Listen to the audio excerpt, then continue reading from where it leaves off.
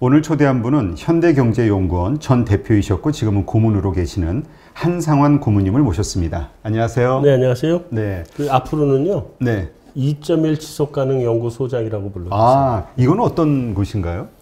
아, 요거는 재단법인이고요. 2.1이라는 건 어떤 의미? 학교 출산율. 아. 그래서 이제 앞으로 출산과 관련된 어떤 그런 연구를 많이 하시는 건가요? 그쪽 연구를 좀 해야죠. 아, 네. 이건 한번 다음 시간에 또 여쭤보는 걸로 하고 네, 네. 이번에 이제 그 공저로 쓰신 책이 트리플 버블이라는 책을 쓰셨잖아요. 네. 최악의 버블 붕괴 그리고 기회.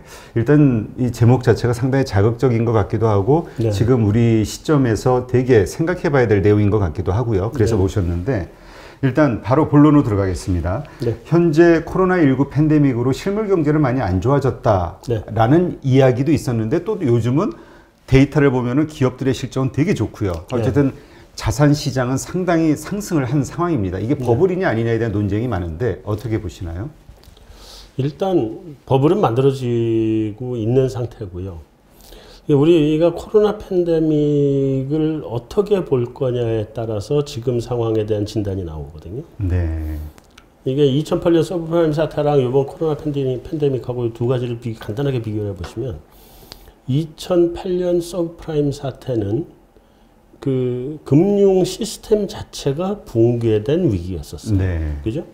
예, 금융 시스템이 붕괴됐고 그 시스템이 붕괴된 그 근본에는 우리가 얘기하는 뭐 그 credit default swap이라고 하는 이걸 가지고 신용이 안 되는 그 장기 주택 대출을 신용이 되는 걸로 둔갑시켜서 시장에 팔았는데 이 버블이 너무 커지다, 커지다 보니까 그게 이제 붕괴되면서 금융 시스템이 전체가 다 엄청난 손실을 입게 됐잖아요. 네. 많은 금융기관들이 힘들어졌고요. 근데 코로나, 코로나19 팬데믹은 금융 시스템의 위기가 있었던 게 아니거든요. 그렇죠. 이 앞에 거는 금융 시스템 내재적인 문제가 겉으로 표출이 된 거고, 이거는 그냥 외부 충격이에요. 코로나는. 외부 충격이다 보니까 그 금융 시스템 자체가 붕괴되지 않고 일시적으로 수요가 움츠러들고 위축이 되면서 생긴 어, 일시적인 말하자면 위기라고 얘기하기도 그렇고 일시적인 경제의 위축 현상이라고 얘기를 하게 되거든요. 네. 근데 이게 두 가지가 이제 거기에서부터 오는 본질적인 차이가 서프라임 사태 때는 위기가 오고서는 이게 언제 해소가 될지에 대한 미래가 보이질 않았어요. 그러니까 이거는 그, 경, 그 경영학에서 얘기하는 투자 쪽에서 얘기하는 uncertainty입니다. uncertainty는 굉장히 무서운 거죠. 아무도 미래를 알지 못하는. 그러니까 지금 내가 터널 속으로 들어갔는데 터널 끝이 안 보이는 거예요, 지금. 언제쯤 이 터널이 끝날지 몰라요. 음, 그 불확실한. 그러면 불확실성을 제일 싫어하는 거거든요. 근데 코로나19 팬데믹은 재밌는 게 우리가 다 터널 속으로 들어갔어요. 깜깜해. 네. 저 끝에 터널 끝이 보여. 이것만 해결되면 되니까. 백신만 나오면 네. 되잖아요.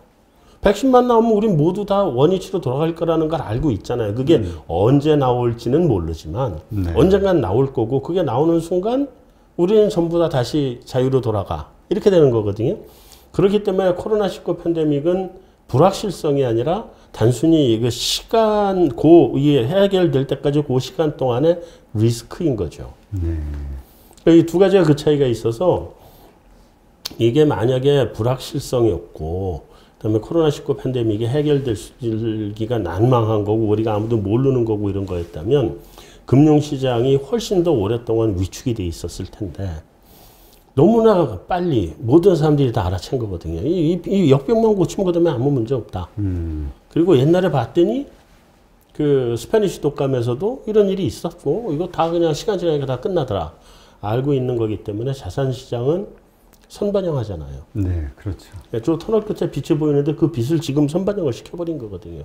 시, 에, 시- 주가도 그렇고 뭐 부동산 가격은 별로 반응도 안 했고 이번에 주가도 반응을 했다가 곧바로 원위치로 와버린 거죠. 원위치를 더 넘어섰죠 사실은. 그렇죠. 예, 그래서 이거는 어떻게 보면 음, 기현상이라고 하기보다는 코로나 19 팬데믹의 특성이 자, 자산 시장에 이렇게 반영이 된 거다 하고 보셔야 될 거고요.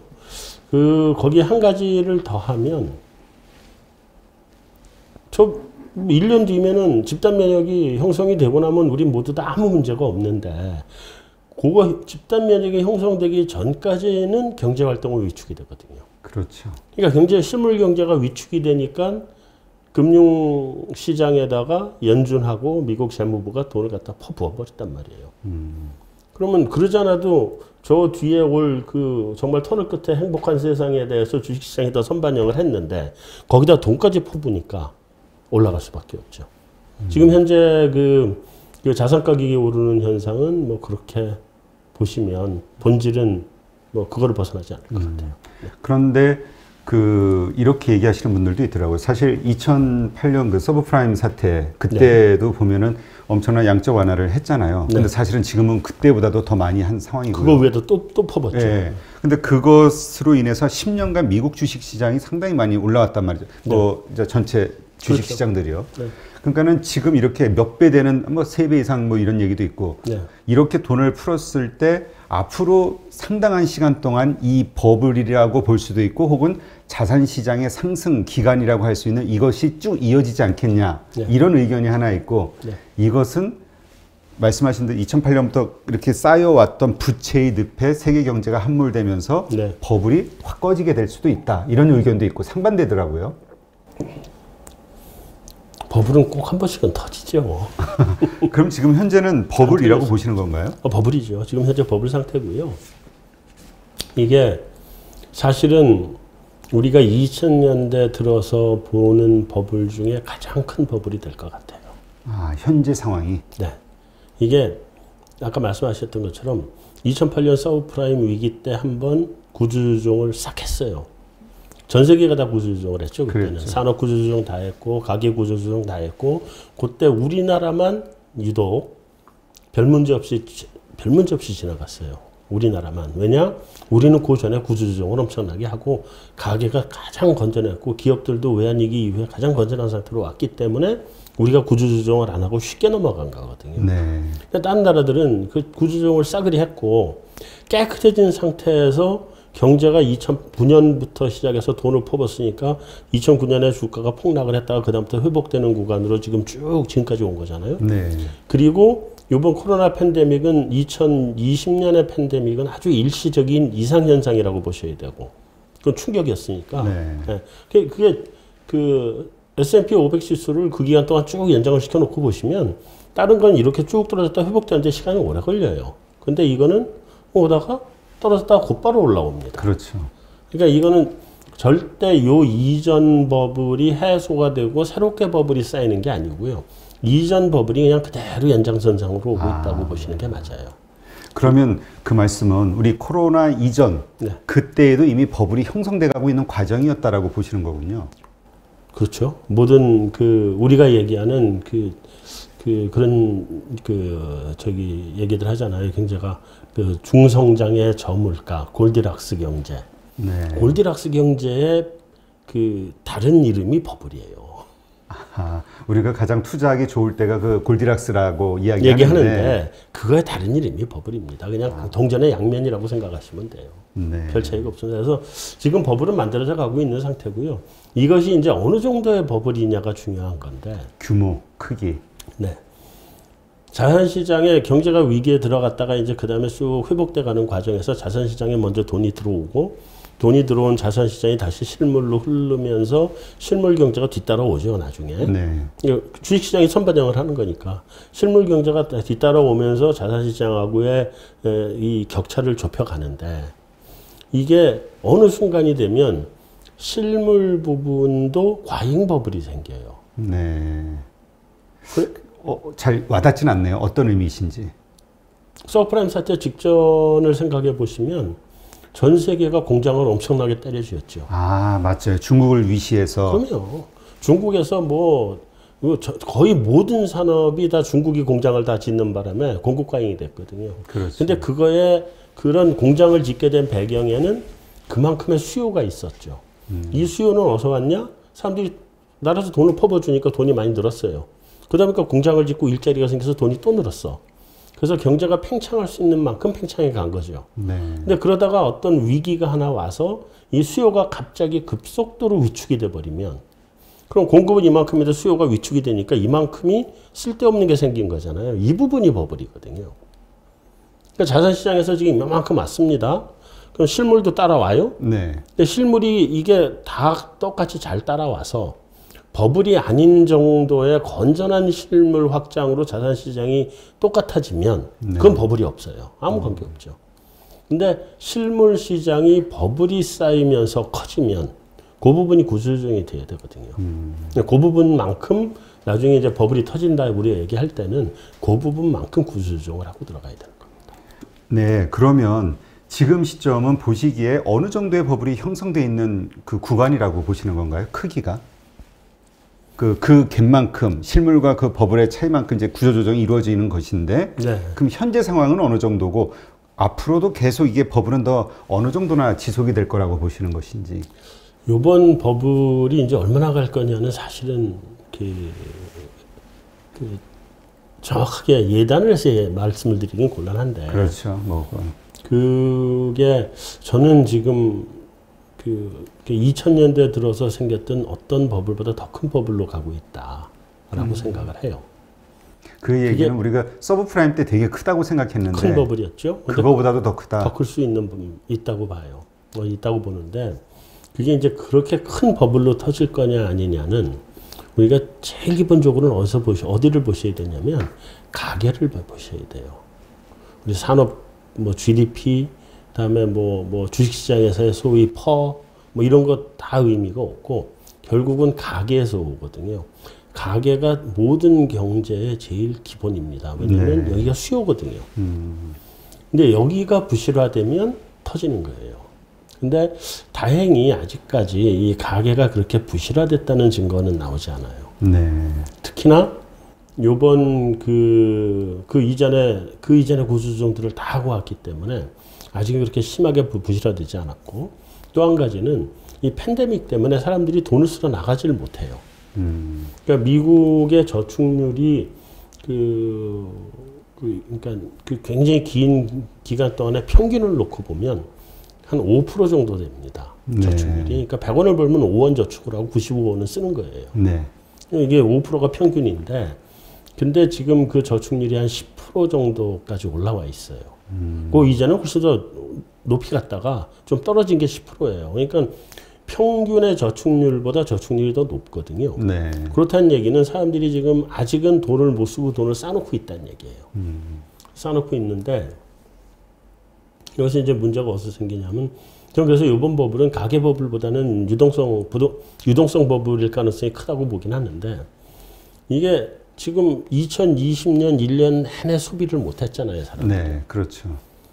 올해 1년 동안도 소비를 못 할 거예요. 음. 그러면 2년의 시간, 그러니까 집단 면역이 언제쯤에 만들어지느냐가 제일 관건이긴 한데, 저, 그게 이제 원래 당초 예상은 올해 말쯤에 집단 면역이 될 거다라고 그랬는데, 내년으로 늦춰지는 것 같거든요, 지금. 음. 보시면 그 전에 우리 그 코로나 처음에 시작했을 때 마스크 대란이었잖아요. 그랬죠. 마스크를 찍어내면 되는 건 뻔히 아는데 공장이 없어. 이 마스크라고 하는 게 뭐 보통 때 필요한 게 1년에 100만 장이 필요하다 그러면 100만 장을 만들 만큼의 공장만 만들었잖아요. 근데 그렇죠.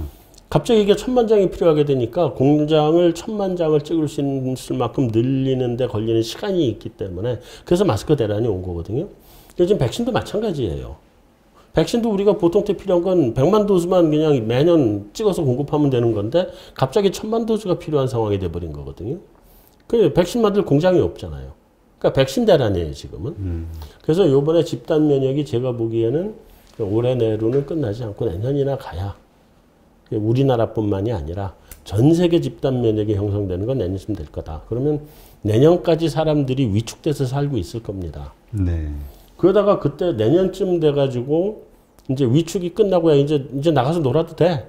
그러는 순간 해외여행 나가고 뭐하고 하면 소비가 확 늘어날 거거든요. 그렇죠. 그럼 소비가 늘어난다는 건 수요가 확 늘어나는 거고요. 그 사이에 지금 돈을 무지하게 풀어놨, 풀어놓은 게 다 자산시장으로 가서 주식시장의 주가도 올랐지만 원자재 가격 엄청나게 오르고 있잖아요. 네. 도, 여기, 여기를 못 가니까 돈은 글로 흘러간 거거든요. 그래서 국제 유가가 지금 60달러 넘었죠. WTI 기준으로 네. 60 넘었고 고리값 사상 최고치를 근접하고 있고 철광석 가격도 거의 사상 최고치까지 갔다 요즘 좀 주춤하긴 한데 그렇게 가고 있거든요. 이것들이 뭐냐면 이게 이 자산 이게 이제 원자재 시장에서 가격이 오른 게 비용 인상의 물가 상승 압력으로 옵니다. 네. 보통 한 여섯 달 정도 뒤면은 그게 이제 나타나기 시작하는데 최고치로 찍어서 이 상태가 조금 더 간다고 보면 뭐 올 하반기나 내년쯤 가면은 이제 비용 인상은 오거든요. 그러면 내년에 비용 인상이 본격적으로 뭐 크게 왔다. 근데 여기에 수요가 갑자기 확 잡아당긴다. 음. 그러면 가격은 치솟죠. 물가는 올라갈 수밖에 없고 올라가는 만큼 자산 가격들도 같이 반영을 할 거고. 근데 거기에 그동안 또 돈을 계속 풀어놓을 거기 때문에 제가 생각하기에 피크는 내년, 내년에 찍을 것 같아요. 음. 내년에 찍고 이게 어, 어느 정도로 수급이 그때 가서 이게 시장에 맞춰지느냐에 따라 다를, 다를 텐데. 수급이라는 건 어떤? 수요와 공급이. 아. 네. 저, 전체 시장 전체 수요와 공급입니다. 그러니까, 음, 그러니까 실물 경제. 네, 실물 경제 전체 수요 공급이죠.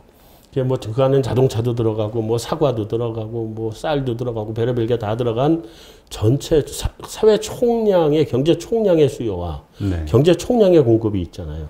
그게 갑자기 막 치솟아 올라가 올라갈 거거든요. 그게 음.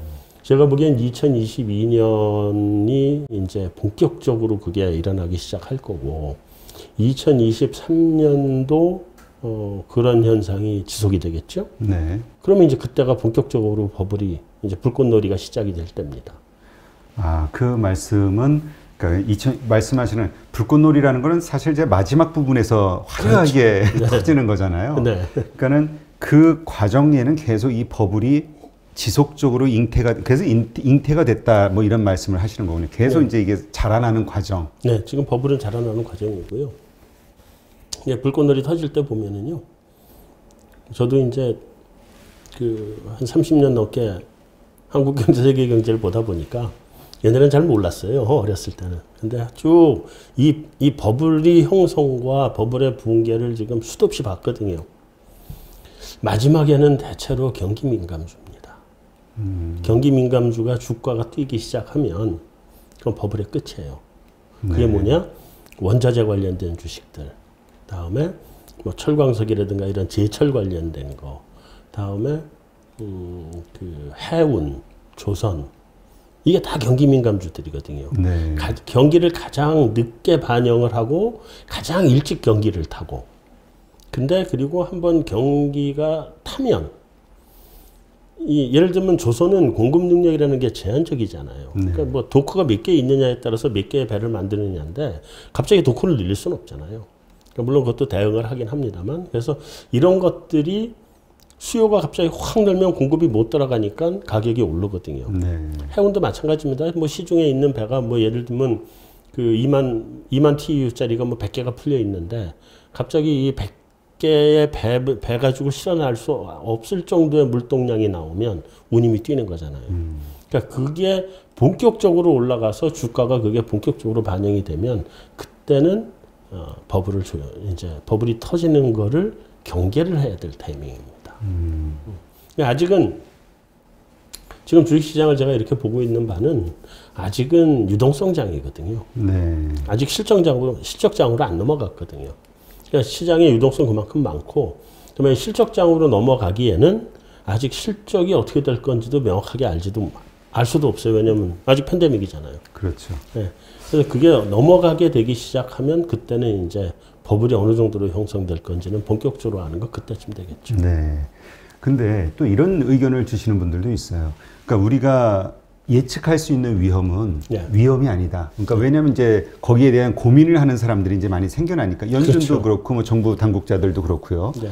뭐다 고민을 하겠죠. 그런 네. 어떤 대응 방식이 나오면서 그러한 그 리스크를 네. 줄여나가는 어떤 액션들이 나오지 않게 위험을 갑, 생각하지도 못했던 게 갑자기 튀어나오는 게 리스크 아니냐, 위험이 아니냐, 위기 네. 이런 얘기들도 있는데요. 제가 봤는데요. 네. 그렇게 안 되더라고요. 아 그래요? 네. 2000, 2008년 서프라임 위기를 예로 들, 말, 들어 말씀드릴게요. 갑자 아 예. 갑자기 생기는 법은 없어요. 위험. 음. 2008년 서브프라임 사태 터질 때도 벌써 2006년부터 부동산 경기는 꺾이는 게 나왔어요. 네. 그러니까 2006년 한 중반 정도가 미국의 부동산이 피크를 찍었어요. 음. 그리고 그때부터 하강을 하기 시작했습니다. 그리고 2007년에는 벌써 몇 개의 그 모계지 관련 금융기관들에서 위험 신호들이 왔어요. 아. 2007년 2007년에 이미. 근데 사람들이 그거 다 무시했죠. 그러니까 시그널이 계속 나옵니다. 계속 시그널은 나오는데 사람들이 무시를 하고 그때 이미 이게 전문가 그룹들에서는 미국 부동산법을 터진다고 다 얘기를 했었어요. 2007년에 이미. 아, 그래요? 그럼요. 다 얘기를 했는데 이거 문제 이제 이제 이상 징후 나오기 시작했다 나오기 시작했다 하고 다 얘기를 했는데 금융 시장에서는 사람들이 전부 다 이게 뭐 방송에서 이런 말씀을 드려도 되는지 모르겠지만 편하게 하세요. 편하게 해도 되나요? 예, 그냥 공중파인데요, 뭐. 다들 이게 다들 뽕을 맞은 거예요. 아. 환각 상태에 들어가 버려 있어서 그런 경고음들을 듣지를 못해요. 음. 그걸 못 듣고 있다가 어느 순간에 갑자기 훅 하고 터져 버리니까 그때 떨어진 거거든요. 그러니까 이게 이 사람들이 그게 다 그렇게 현명해서 어, 그런 그런 위험 시그널들을 다 미리 이렇게 캐치를 해서 거기에 대응을 해간다 그러면 아무 문제가 없는데 그러지 못하더라고요. 근데 음. 아주 소수의 사람들은 그걸 캐치를 하죠. 그리고 빠져나옵니다. 네. 예, 그래서 그런 사람들은 예를 들면 예를 내가 주식을 만 원에 산게 10만 원이 됐어요. 뭐 버블이 와서 터지면 다시 2만 원으로 떨어질 텐데 운 좋게 10만 원에 파는 사람들이 있어요. 음. 근데 그게 운으로만 파는 사람도 있지만 또 일부는 이 시그널을 미리 감지하고 파는 사람들도 있어요. 그때 short cover 했던 사람들도 있었잖아요. 그렇죠. 네. 그게 있어서 그게 대표적인 게 존 F 케네디 아버지잖아요. 아, 그런가요? 네, 그럼요. 그 존 F 케네디가 이제 아일랜드 이민의 자손이잖아요. 근데 그 아버지가 그 혹시 알카포네라고 들어보셨나요? 예, 그 시카고의 전설적인 전설적인 마피아. 네, 조, 조폭. 네. 네. 알카포네하고 그 케네디의 아버지 둘이 똑같은 사람이에요. 아. 둘 다 뭐로 돈을 벌었냐면 밀주로 돈 번 사람이에요. 네. 알카포는 그 몰래 술을 만들어서 몰래 이거를 공급을 해서 돈을 번 거고 그 아버지는 미국에 미국에 아니라 해외에서 술을 수입해 와서 팔았어요. 아. 그러니까 그때 그때 금주법을 보시면 재밌는 게그 그, 그 술을 마시면 안 된다는 조항이 없어요. 팔면 안 된다. 만들면 안 되는 아, 거예요. 아, 만들면 안 된다. 네. 애매하네. 애매한 거예요. 그러니까 마셔도 법은 죄는 아니잖아요. 마시는 건 죄가 아니에요. 네. 그러니까 누군가 술은 마셔야 될 거 아니에요. 아니 세상에 모든 사람들이 술 안 마시고 담배 안 피면 좋은데 그런 세상이 어디 있어요? 없잖아요. 그렇죠. 그러니까 그 아버지는 수입을 해와서 돈을 벌었고 이 사람은 이제 불법으로 그 해서 돈을 벌어서 똑같은 사람이 둘 다 금주법이 만들어낸 부자인데. 네. 근데 이 아버지가 이 매일같이 월스트리트에 이제 출근을 하는데 그 월스트리트 바로 앞에 구두 닦기한테 맨날 똑같은 애한테 가서 구두를 닦는데 음. 어느 날 이 구두 닦기가 구두를 닦으면서 주식을 추천을 하더라는 거예요. 말이 안 되잖아요. 그 사장님 오늘은 뭐 무슨 예를 들면 오늘은 삼성전자가 좋을 것 같아요. 추천을 갑자기 한 거니까 이 구두 닦기까지 뛰어들어 주식시장에 뛰어드는 거잖아요. 네. 그거 보고 아예 팔아야 될 때하고 그걸 다 팔아버렸다는 거죠 그때. 음. 그래서 자기 재산을 그때 지켰고 폭락했음에도 불구하고 여전히 부자도 있고 폭락했으니까 더 부자가 된 거죠. 그렇죠. 만주 가지고 있던 거를 싹 팔고 새로 샀으면 10만 주 산 거잖아요. 그렇죠. 더 부자가 된 거죠. 그래서 그 기초를 닦아서 그 재, 그 재산을 바탕으로 존 F 케네디가 미국의 대통령이 된 건데 그런 사람들이 있어요. 그 사람이 정보에 아주 탐닉한 사람이었다는 거예요. 음.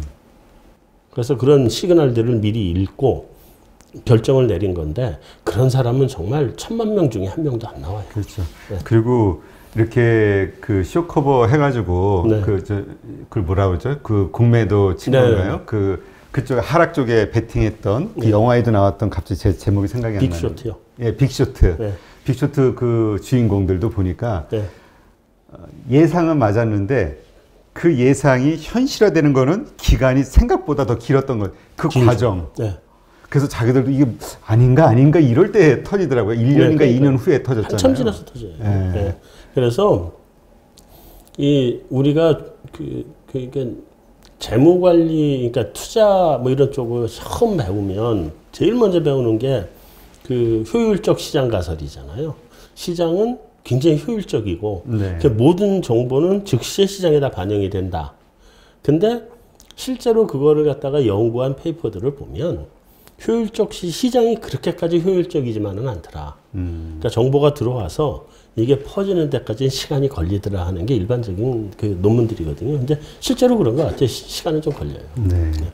그래서 이제 그 고모님은 이제 그 앞으로 2023년 정도가 아마 버블의 아마 최정점이 될 것이다. 이렇게 이제 예상을 하시는 현재로서는 그렇게 예상을 해보는 거죠. 물론 그게 당겨질 수도 있고 늦춰질 수도 있고. 그렇죠. 이제 그 과정 속에서 여러 가지 그뭐 고민하는 정부나 연준이나 아니면 뭐 그럼요. 생각하지 못한 어떤 리스크나 이런 것들이 막 여러 가지 돌발 변수들이 많이 생기니까 그거에 네. 따라 또 변동은 되겠지만 현재 상황이라면 네. 이제 그런 정도로 예상을 하고 계시는 걸로. 네.